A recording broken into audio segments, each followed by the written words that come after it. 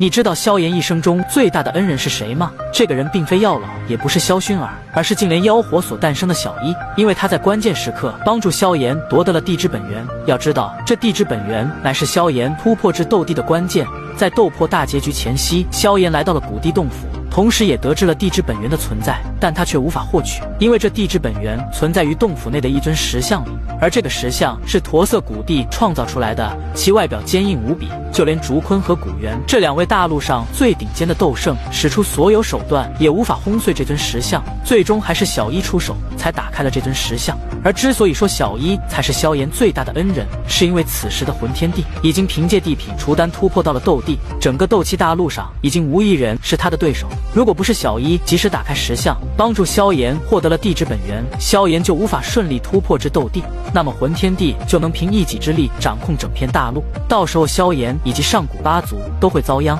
对此你有什么看法呢？一起讨论一下吧。